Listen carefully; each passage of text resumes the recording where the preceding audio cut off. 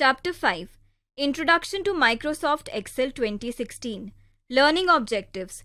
Features of Excel. Opening Excel 2016 Basic Worksheet and Workbook Concepts. Components of a Worksheet. Moving around the spreadsheet. Entering data. Performing calculations. Working with a worksheet. Saving a workbook. Introduction Microsoft Excel is a spreadsheet software developed by Microsoft. It is a part of the MS Office suite. It is one of the most popular and useful spreadsheet software used today. The data in a spreadsheet is represented in the form of a table. Features of Excel The features of Excel are as follows. MS Excel contains formulas which are used for performing simple and complex mathematical calculations. Functions are the built-in formulas used for calculating percentage, average, interest, etc. If any change is made in a single cell, then the data is automatically recalculated in the entire worksheet. Data can be searched quickly and if required, replaced instantly. MS Excel allows us to create different charts such as bar charts, pie charts, line charts, etc. This helps us to analyze and compare data very easily. Data can be seen in a graphical form such as charts which helps to understand, analyze, compare data in an effective manner. Opening Excel 2016 To open Excel 2016, follow the given steps. Click on Start button. Choose All Apps. Click on Excel 2016. The opening window of Excel 2016 will appear. Choose the blank workbook thumbnail from the screen. A new blank workbook named Book 1 will open on the screen. Basic Worksheet and Workbook Concepts The Excel window that opens on the screen is called a workbook. By default, it has a temporary name as Book 1. Workbook is just like a notebook, which contains a number of pages called worksheets. A worksheet is made up of rows and columns in which you can enter and work with data. Fact file. By default, an Excel workbook displays a single worksheet with the name Sheet 1. You can add any number of worksheets in a workbook according to the limits of memory available on computer. A worksheet consists of 10,48,576 rows and 16,384 columns. Columns are represented by alphabets on the top and rows by numbers on the left side of the worksheet. Fact file. A cell range can be selected by dragging or using shift key or by function key F8. Components of a worksheet Cell. The intersection of a row and a column in a worksheet is called a cell. Each cell is identified by its column letter and row number which is known as cell address. For example, a reference to the cell at the intersection of column A and row 3 is A3. A cell is used to store data such as text, numbers, formulas, functions, etc. A cell can contain up to 32,767 characters. Active cell. Whenever you click in a cell, a thick black border appears around it. This highlighted box is called an active cell. Range. Range is a group of neighboring cells that touch each other. It can be as small as a single cell or as big as a complete worksheet. You can specify a range by writing the starting cell address followed by the ending cell address, both separated by a colon. For example, B1 B3 indicates to range starting from B1 cell address and ending in B3 cell address. Name box. Name box is present above the column heading to the left side of the window. It displays the position of the cell pointer. The formula bar is present to the right of the name box.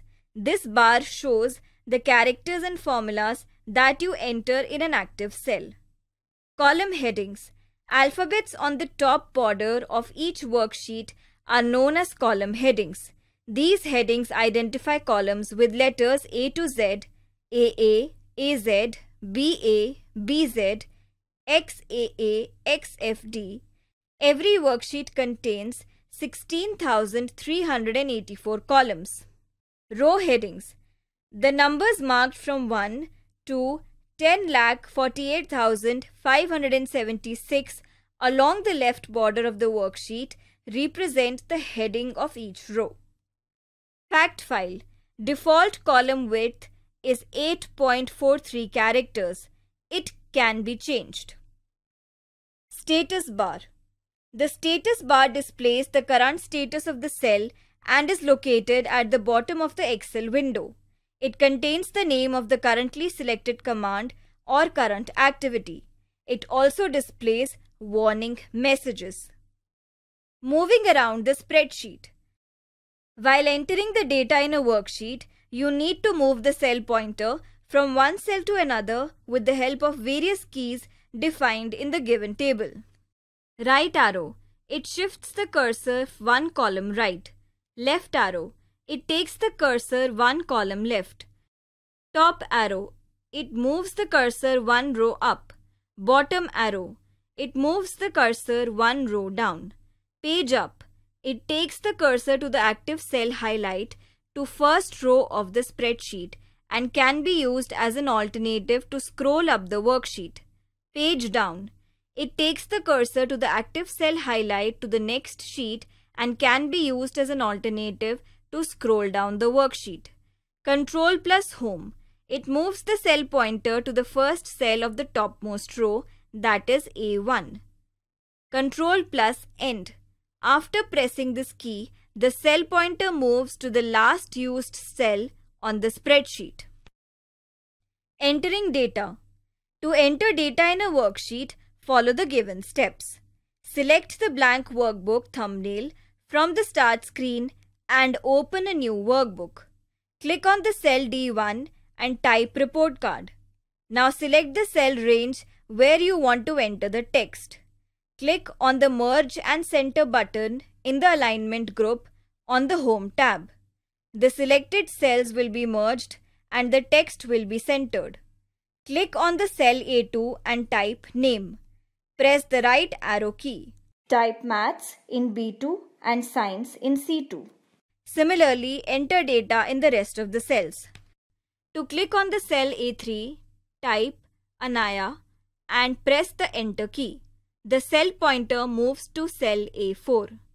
Type Vaishnavi and press down arrow key to move the cell A5 and type Ojas. Similarly, enter the remaining data.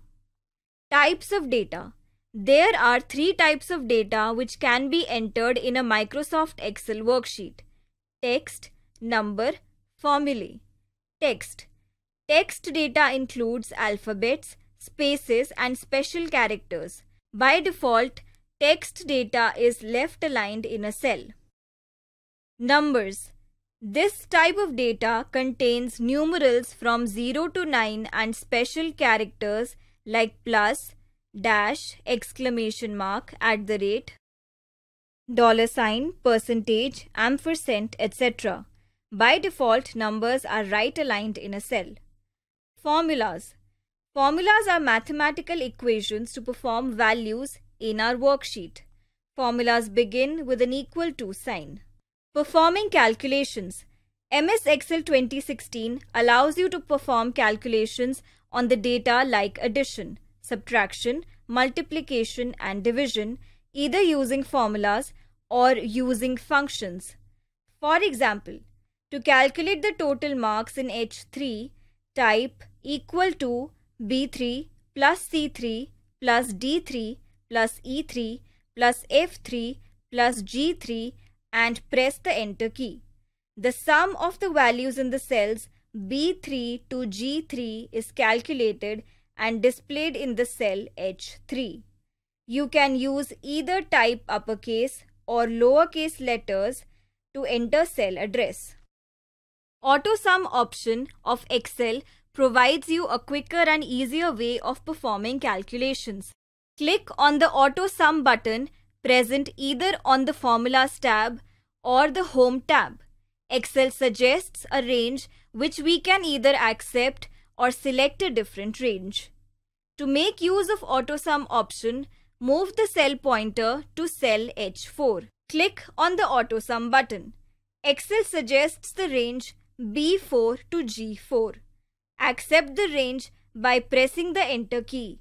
The sum of values in cells B4 to G4 is calculated and displayed in the cell H4. Working with a worksheet. Switching between worksheets.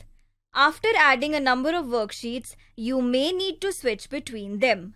For this, use Ctrl plus page up and Ctrl plus page down key combination. Renaming a worksheet. To rename a worksheet, do the following. Double click the Sheet tab that is to be renamed. It will be highlighted. Now, type a new name and press Enter key or right click on the Sheet tab you want to rename and click on the Rename option. Adding a new worksheet. To add a new worksheet, follow the given steps. Right click on the Sheet tab and select the Insert option. The Insert dialog box appears with the worksheet option selected. Click OK. You will find that a new worksheet gets inserted before the selected worksheet. Or click on the new sheet icon present besides to the Sheet tab. A new worksheet will be added or select the Insert Insert Sheet option in the Cells group in the Home tab. Removing a worksheet. To remove a worksheet, follow the given steps. Navigate the mouse pointer on the Worksheet tab that is to be deleted. Right-click on the Sheet tab and select the Delete option. Or select the Delete Delete Sheet option in the Cells group on the Home tab. Saving a workbook. To save a workbook, follow the steps given below. Click on the File tab and select the Save As option. The Save As window will appear. Click on the Browse option. Browse the drive and folder where you want to save the workbook. Type the desired file name in the file name text box. Click on the Save button. Fact file. The Excel file is always saved with an extension .xlx. Quick backup. Microsoft Excel is a spreadsheet software developed by Microsoft. The intersection of a row and a column is called a cell. An Excel workbook displays a single worksheet by default with the name Sheet 1. There are three types of data that can be entered in a worksheet. They are numbers, text, and formulas. Formulas are mathematical equations involving number values and operators used to perform calculations on a worksheet. You can do addition, subtraction, multiplication and division by using either formula or function.